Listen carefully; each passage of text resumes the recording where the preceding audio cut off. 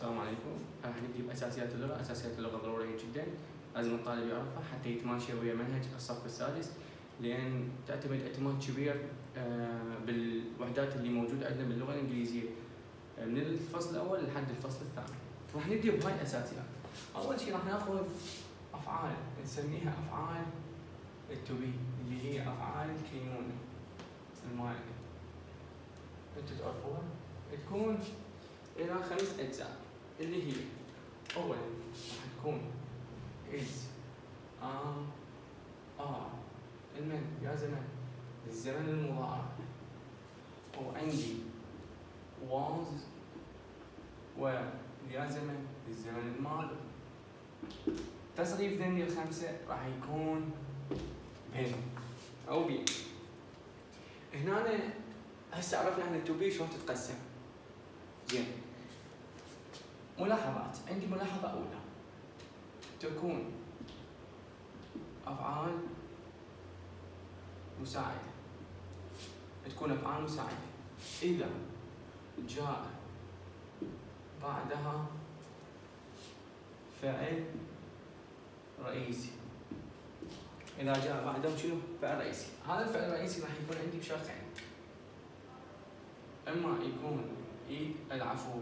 أما يكون اي ان جي أو يكون شنو؟ تصريف ثالث للفعل هنا حيكون الزمن شنو؟ مستمر وهنا راح يكون مبني للمجهول. طبعا مو كل ing موجودة بالكلمة دليل انه مستمر اكو لا هي أصل الكلمة موجود بها ing مثلا she is teaching English. نلاحظ عندي هنا هاي فعل مساعد. لأن بعد فعل رئيسي ماخذ اي ان جي الدليل إنه زمن مستمر. فهنا حتكون فعل شنو؟ مساعد. أقدر اني مكان الاز أسويها was. ماكو في مشكلة. يعني صار عندي شنو was teaching English. الثاني. He is taking to hospital. أخذ وين؟ للمستشفى مثل ما تلاحظون is هم أقدر شنو نقول هنا was أو اسويها جمع taking اللي هو من هو التصريف الثالث هنا نبي صيغه هنا حتكون صيغه المبني للمجهول لأن عندي أنا التصريف الثالث فهنا تكون افعال مساعده اذا اجى بعدهم فعل رئيسي يكون بهاي ان جي أو تصريف ثالث وقف الفيديو واكتب الملاحظه نجي هسه. الشق الثاني. تكون أفعال شنو؟ رئيسية. من هنا أفعال تبي الخمسه شو وقت تكون أفعال رئيسية؟ إذا جاء بعدهم اسم صفة جار ومجرور هاي راح تكون أفعال رئيسية يعني ماكو فعل حتى تكون فعل مساعد. مثلا we are at school. هسه إحنا قريب المدرسة. هذا ار هذا ات حرف جر وهذا اسم مجرور. يعني هنا الار فعل شنو؟ فعل رئيسي وليس فعل مساعد. جملة ثانية. He is a doctor. هو شنو؟ هو دكتور is وراها ال A يجي بعد ال A. اسم دكتور اللي هو شنو طبيب. هنا دكتور ما اعرف شنو اختصاصه لذلك خلينا اسم نكره. فهنا جتي فعل شنو؟ فعل كذلك رئيسي. وآخر جملة راح تكون عندي uh, she is uh, clever. هي شاطرة جدا عندي أنا شنو عندي is راح يكون فعل رئيسي السبب عندي clever اللي هي الصفة هذا كل ما يتعلق بمن بأفعال التوبي راح ناخذ هسه هاي طبعا توقف الفيديو وتاخذ الملاحظات. راح ناخذ هسه أفعال نسميها أفعال التدو. أفعال؟ التدو. هاي أفعال التدو تقسم إلى الدو وال does. وبعد ما عندي عندي الديت. الدو والداز للمضارع. وعندي الديت. المن راح تكون راح تكون للماضي. يعني ال do ماضيها did وال does ماضيها did. زين. تصريفهم الثالث راح يكون اللي هو ال done. حيكون تصريفين الثالث اللي هو شنو؟ ال done هسه نيجي طبعا الداز المن للمفرد. والدو للجمع. إحنا هسه نيجي تستخدم كأفعال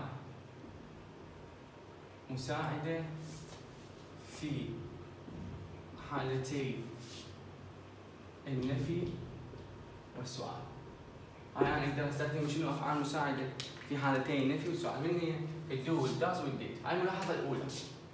خلينا نقول هنا آه واحد. اثنين. شوي ننتبه شو كيف نستخدم الدو والداز والديت؟ نستخدم هذه الأفعال. نستخدم هذه الأفعال. إيش وقت؟ عند عدم وجود الأفعال المساعدة. من هي الافعال المساعدة؟ خلوها ببالكم من هي؟ التوبي اللي هي is am are مضارع أو عندي was were. حتكون شنو؟ ماضي. يعني اني أستخدم الدو والداز والديت من ماكو ذني الخمسة. لكن إذا موجودات ما يصير أستخدم لأن أكو فعل مساعد بالجمله ناخذ جمله مثل ما موجودة عندنا هنا she is teaching English. راح نقول she teaches English. مثل ما تلاحظون أمامكم هنا هاي الجمله بها الشخص الثالث الفاعل مفرد والزمن مضارع. هنا موجودة is am are لا. Was were. لا من يجي أنا اريد فيها شو أسوي؟ لازم أجيب فعل. فهنا إيش راح أدخل؟ راح أدخل ال does. لأن ال does ويا ما قلنا تجي ويا المفرد. بيا حالة بحالة النفي والسؤال. شو حصير؟ she doesn't. بعدين شو أسوي؟ راح احذف الشخص الثالث. لأن صارت إلمن لل does. يعني بعد ال does راح يكون فعل مجرد. Teach English أوكي يعني هنا هذني بحالتين النفي والسؤال راح يكون الفعل الرئيسي في صيغة المجرد جملة ثانية. مثل ما هاي نعطيها هنا عندنا هنا أو نأخذ جملة. They wrote the letters. هي اللي يسويها سؤال. أجي أنا. أكو بالجمله هاي الجمله دليل شنو؟ ماضي. لأن الفعل wrote التصريف الثاني للفعل أكو بالجمله was were لا. إيش راح أسوي بالحاله أنا؟ راح أجيب من عندي الفعل المساعد من وين؟ did يعني يا صيغه صيغة الماضي. راح أخليه وين؟ بالبداية. did عادة السؤال الفعل يسبق الفاعل فراح أخلي did وأقول شنو؟ ديد زي ورا الديد طبعا الديد تجيني للمفرد وإلمن للجمع. وإحنا إيش قلنا؟ بحالة النفي بالسؤال من يجي ذني ثلاثة؟ يكون بعد من الفعل مجرد. Did they wrote ترجع الأصل شو يصير؟ Write the letters. Did they write the letters. هاي هنا صارت عندي شنو؟ استخدام. الدو والدز والديت في حالة المضارع والماضي. نستخدمها فقط. نركز على هاي. من ماكو. هاي الأفعال الخمسة اللي هي is am are was. أو آه أوكي وقف الفيديو. واكتب الملاحظات راح نجي للنوع الثالث. اللي هو راح يكون من هو راح نسميه ال to have. ال to have. عندنا إحنا التهم اللي هي أول شيء هاز أو عندي منو؟ have ماضيها حيكون had هاي تستخدم من مضارع وهاي لما تستخدم ماضي شوي نركز بهاي أوكي شوي نركز بهاي اول خطوه راح يكون عندي اولا تكون افعال مساعده شو تكون افعال مساعده اذا جاء بعدهم فعل. نوع الفعل رئيسي. راح يكون بها صيغه صيغه التصريف الثالث. بمعنى أن الزمن راح آه، يكون إما مضارع تام أو ماض تام. السبب عندي من هو التصريف الثالث للفعل.